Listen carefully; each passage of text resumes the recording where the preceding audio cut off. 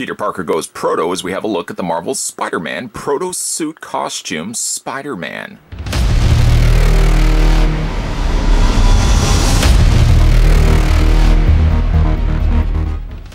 Peter ventures forth as Spider-Man in his functional, if not entirely fashionable, proto suit.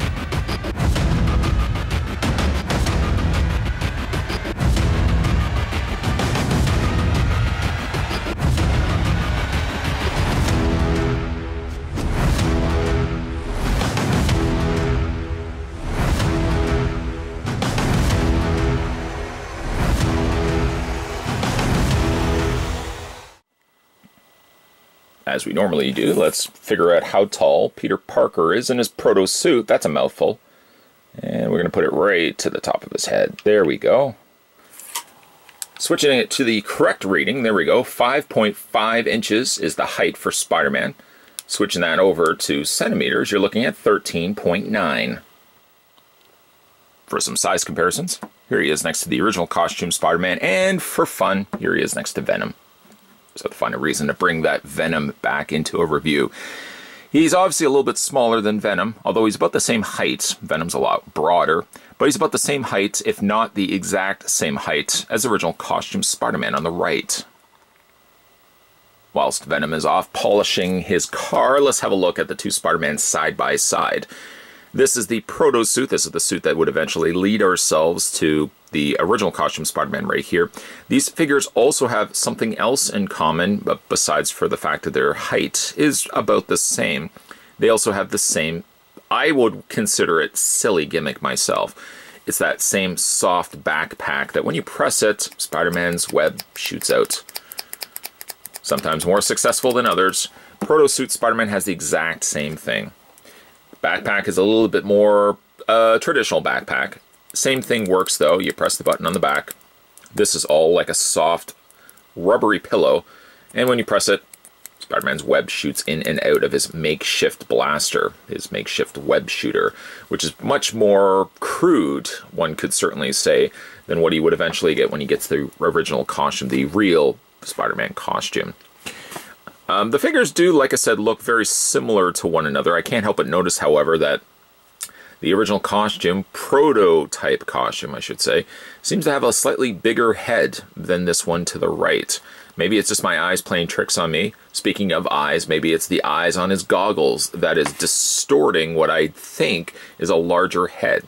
Now, this would make perfect sense because one is a little bit more loose fitted versus Spider Man's more tighter fitted mask on the top there.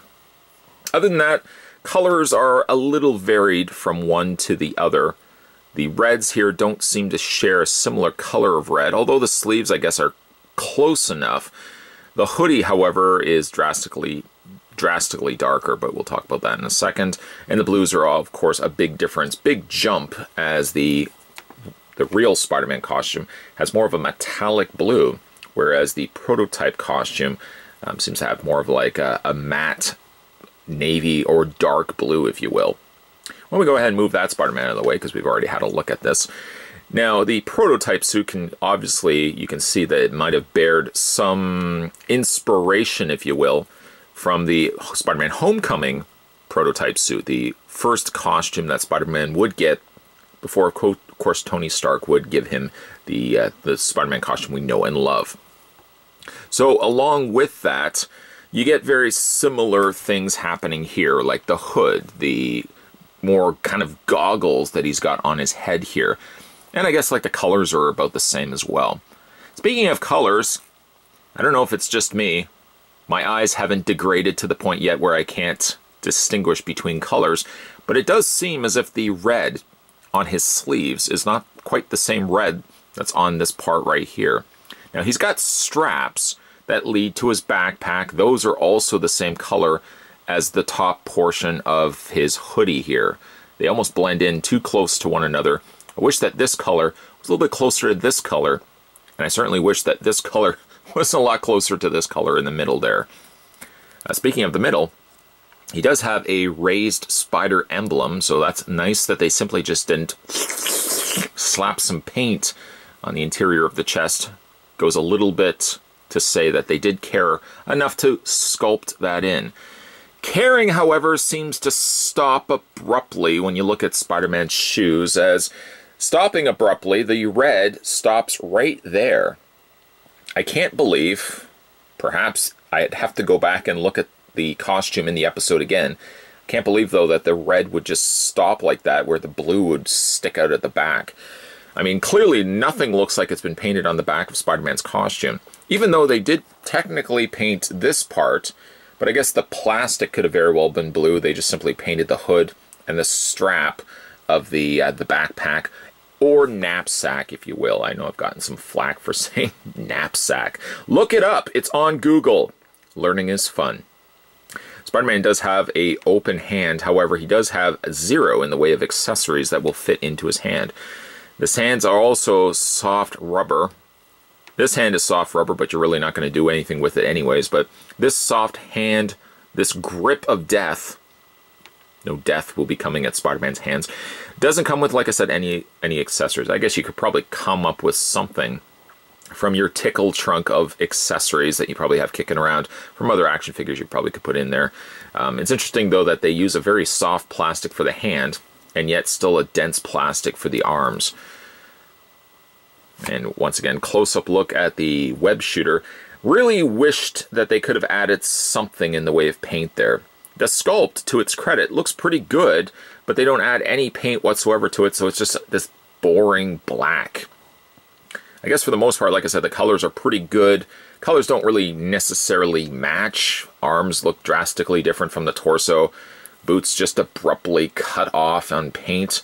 But hey now, he does have peg holes on the undersides of his feet. That makes up for it, doesn't it? no, it doesn't. Posability on Proto Suit Spider-Man. His head rotates all the way around, hinges up and down, angles back and forth. Arms rotate all the way around. That's all you're going to get. Nothing in the arms. The hands misleadingly think or convince you that you can rotate them. You're really just turning rubber. And at that point, you're probably going to break it right off, so you don't want to really do that. Legs go back, legs go back, legs go forward, legs go back. That's the correct way that they want to go. And like I said, he's got peg holes on the undersides of his feet. Uh, this particular Spider-Man doesn't have any problems really standing.